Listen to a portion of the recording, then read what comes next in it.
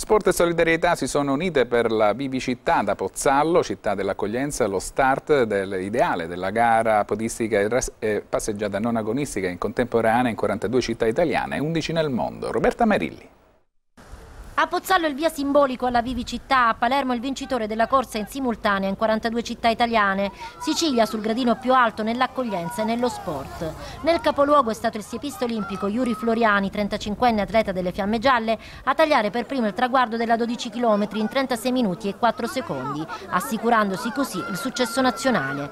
La prova femminile è stata vinta dalla 26enne Sara Bottarelli a Brescia. Al di là di risultati e classifiche è una festa di sport, coinvolti pure i detenuti in Sicilia, Ragusa, Enna e Palermo. Dopo Lampedusa l'anno scorso il via ai podisti in questa edizione lanciato da Pozzallo, città che ha accolto negli ultimi anni migliaia di migranti. Per una volta Pozzallo è al centro dell'attenzione, sicuramente Pozzallo lo merita per quello che ha fatto in questi anni e da questa città parte questo messaggio di solidarietà e di accoglienza. 65.000 persone in tutta Italia per la manifestazione organizzata dalla WISP Unione Italiana Sport per Tutti, per correre o camminare in nome dei valori della pacifica convivenza e dell'inclusione sociale. Se uno sta bene con sé, sta bene anche con gli altri, si può raffrontare con gli altri e può andare avanti e fare passo dopo passo cercare una vita migliore.